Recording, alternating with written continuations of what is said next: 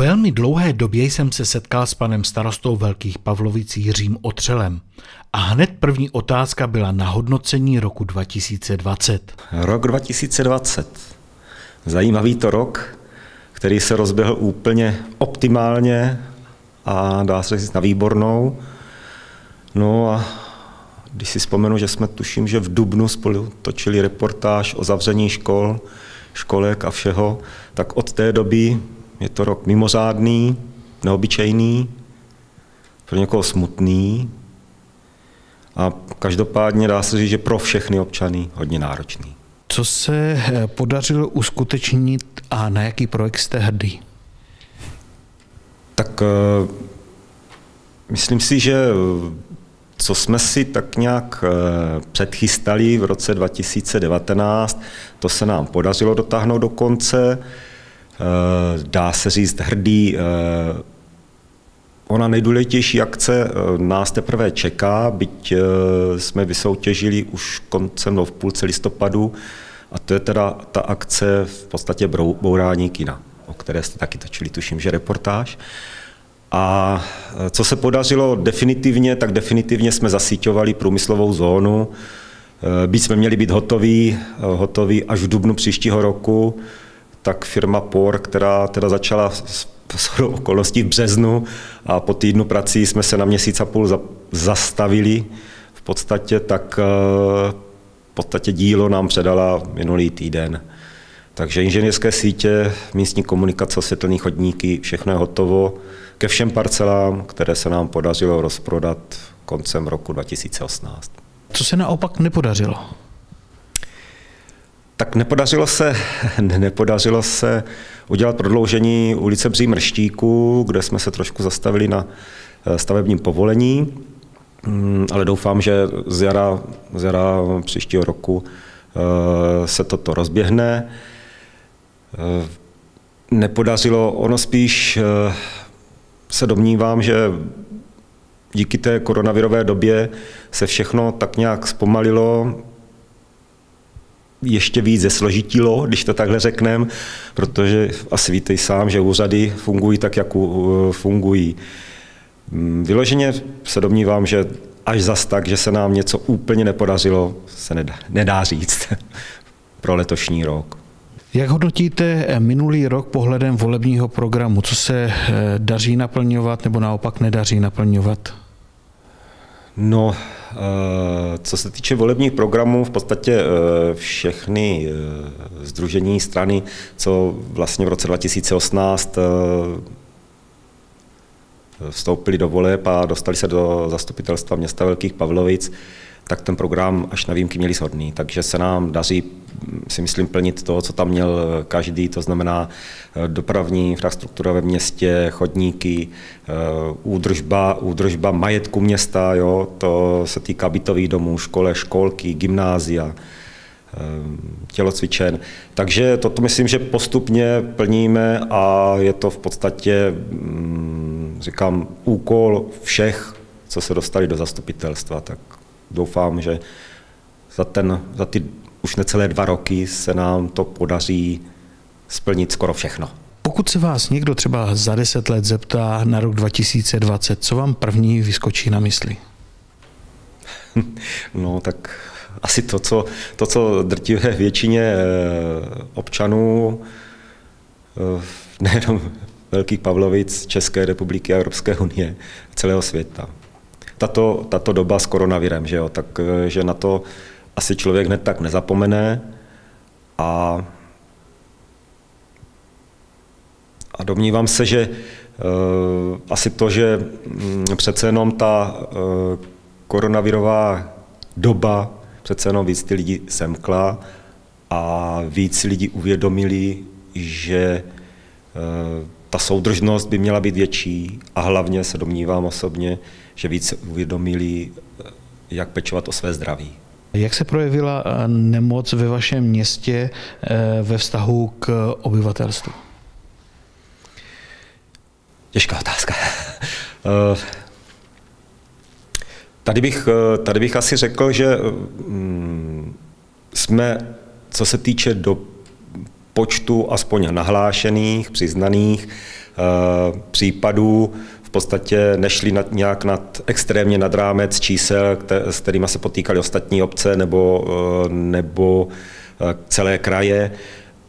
jako město máme trošku výhodu v tom, že co máme byty pro seniory, tak vlastně jsou oni oddělení. Nemáme žádný jak se říká, domov důchodců, pečovatelák, jo, což, což teda těmto obcím a městům vůbec nezávidím tu situaci, protože přece jenom tam ty podmínky byly náročnější. Jakým způsobem jste informovali občany a podnikatele o nastalých opatřeních, po případě opatřeních města? Tak eh, město jelo standardně v rámci krizového, krizového štábu Jihomoravského kraje, eh, takže jsme se snažili informovat na nástěnky, na internet. V podstatě tak, tak jak nám to ukládá, dá se říct, krizový štáb a krizové, krizová situace. Eh, co se týče našich příspěvkových organizací, což je školství vlastně, jsme se jim snažili vypomoct, jak se dalo. Zakoupili jsme nový dezinfekční stroj, který se používá Eh, můžeme ho nabídnout, pokud někdo bude chcet, i podnikatelům, takže mm, informovanost si myslím, eh, co se týče obyvatel, budu mluvit teda za Pavlovice, si myslím, že je velice dobrá nejenom ze strany města, ale i s otázkou jsou média, co kdo poslouchá, jak kde je. Jo. Takže myslím si, že koronavirus už je tak přeinformován, kolikrát bych řekl, že někdy to i stačí. Jaký byl dopad na fungování úřadu, spolků i zájemných vztahů? Tak dopad na úřad, eh, tam to bylo jednoznačné omezení provozní doby a tím související v podstatě vyšší nutnost vyšší informovanosti občanů, jak vlastně fungujeme přes internet, přes maily, eh, přes mobily, eh, s tím, že Především byly vlastně eh, preferované takové ty individuální návštěvy.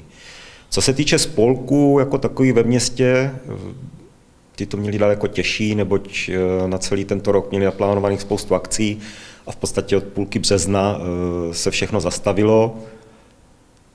Byť proběhly v srpnu tradiční velkopavlovické hody, které si uspořádala Chasa Velkopavlovická i přes nedoporučení eh, města Velkých Pavlovic, ale všechny tyto akce, všechny tyto akce a mnoho dalších jako je škoda, protože spolky byly na to nachystaný. Já akorát podařilo se eh, dobrovolnému svazku Modrých hor začátkem září eh, udělat putování za Burčákem, kde oproti standardnímu počtu účastníků kolem 600-700 letos dojelo 1400. Takže pět obcí eh, Modrých hor, dá se říct, bylo našlapáno, tak jako každá obec letošního roku, co se týče turistické sezóny. Eh, co vám COVID vzal a dal? COVID, COVID vzal v podstatě asi to nejpodstatnější, když pominu úplně to nejpodstatnější, že děti skoro nechodili do školy což, což asi pro mne, pro mne osobně jako nejvíc takové jako zatěžující si, nebo uh, nejvíc takové jako na této situaci špatné. Uh, dal to, co, co prostě přináší běžný život. Lidé se přestali méně stýkat, lidé, lidé prostě jsou někdy i trošku takový podezíraví. Co nám covid dal? Dal nám snad do budoucna ponaučení z toho, jak se o své zdraví, což doufám, že si všichni uvědomují takovou tou frází, že zdraví je co ne, to nejcennější, tak v podstatě asi si uvědomit, že když jsme zdraví, byť je tam nějaké omezení, tak furt a stále je to dobře. Jaké jsou pro vás priority do následujícího roku? Eh, tak co se týče investic, tak eh, v podstatě to, co se nám přesunulo z loňského roku, 18. Eh, ledna začínáme teda s bouráním budovy kina. V tomto okamžiku běží soutěž na projektovou dokumentaci, kde jsme teda 22. prosince otevírali elektronický, soutěžili a otevírali elektronické obálky takzvaně, kde se nám sešlo 18 nabídek, což mě, mě teda osobně hodně překvapilo, takže než se s těma nabídkama probereme, tak, tak to bude chvilku trvat. Další akce, dostali jsme dotaci na výstavbu tůněk a mm, remízku v oblasti Záblacká. Ta je stoprocentní, to znamená celý 22 milionů by mělo být hrazeno z programu OPŽP. Eh, dostali jsme dotaci na vodní nádrž, která by eh, v podstatě ruku v ruce šla s výstavbou těch eh, vodních tůněk, taky v té lokalitě Záblacká, tam by to mělo být až 10 milionů, to je dotace z ministerstva zemědělství. Je zažádáno o dotaci a pokud nám ji přiklepnou, tak proběhne rekonstrukce vozovky v ulici kapitána Jaroše, No a jsou spousta akcí rozběhlých. Chtěli bychom dotáhnout do konce uh, už konečně výstavbu uh, v podstatě technického zázemí uh, pro město, což znamená laicky řečeno novou halu a spevněnou plochu, kde se bude ukládat v násypkách uh, písek, kamínky, aby se nám to ty hromádky různě neválely po městě, když to řeknu takhle lidově. Eh, to mělo být v lokalitě na Špitálku, kde jsme od Hantálu akciové společnosti koupili pozemek, takže tam doufám, tam je požádáno stavební povolení, doufám, že při, příští rok začneme stavět. No a pak tam spousta drobných akcí, výstavba parkovacích míst, oprava eh, veřejného osvětlení a tak dále a tak dále. Je tam toho dost, otázkou je, eh, jak to ufinancujeme. V podstatě tento rok jsme na tom tak, nebo ten příští rok, Eh, jsme na tom tak, že jsme zapojili do financování rezervu 24 hm, milionů a uvidíme, jak půjdou peníze. Letošní rok, byť eh, se ekonomika v podstatě od, dá se říct, od půlky dubna do, do konce června, dá se říct, ne zastavila, ale zpomalila, tak díky kompenzaci státu zase to řeknu lidově, jsme v podstatě na svých, co se týče na stránce příjmové za tento rok. Nám tam lítá zhruba eh, nějakých, tuším, že půl milionu, eh, co jsme oproti tomu, co jsme si naplánovali, tak nedostali. Jo. Takže mm, finančně, finančně město, město do příštího roku vydrží. Otázku, jak se budou plnit eh, na stránce příjmové daně, a podle toho se bude taky zacházet s těma akcema, co jsou naplánovaný. Když už jsme u, té, u těch financí, tak eh, bych se chtěl zeptat, jak to bude s poplatky na příští rok pro občany? Poplatky na příští rok pro občany. Eh, byť je to těžký příští rok, eh, byli jsme teda, shodli jsme se, že díky tomu, že stát v podstatě od prvního první eh, vstupuje v platnost zákon o odpadech nový, který je nastaven bohužel zatím tak, že každý rok by se, pokud nevytřídíme, měl zvedat poplatek. My jsme po dlouhé době přistoupili teda na to, že z pětistovky na občana za komunál vlastně mm, zvedáme na 600 korun. Eh, domníváme se, eh, že ani ne dvě koruny na den za každého občana, eh, jako za svoz odpadů, protože to není jenom svoz odpadů v popelnici, ale fungující sběrný dvůr, kde v podstatě bezplatně můžou občané uložit rozstříděný, rozstříděný odpad od papíru až po staré pneumatiky a televizory. Eh, město zabezpečuje v podstatě od, od jara až do podzimku svoz zeleného. Každý měsíc jezdíme, jezdíme sběr plastů, papíru, železa. Uvidíme, co nám přinese, přinese mm, v podstatě další rok, a to rok 22, protože ten rok 21 je z pohledu toho zákona v podstatě takový startovací od nuly. Ale vzhledem k tomu, že poslanská sněmovna si zatím nelámala hlavu s prováděcíma vyhláškama, tak v tomto okamžiku nemůžu občanům vůbec sdělit, jaký budou poplatky spíš na ten rok 22. A co se týče klasiky, ubytovací poplatek, psí, zbytov, tam jsme nic nezvedali. Tam bych opět ještě se vrátil k tomu a požádal občany, aby se snažili tyto platby provést v podstatě bezúplatně, čili přes účet města a přes svůj účet.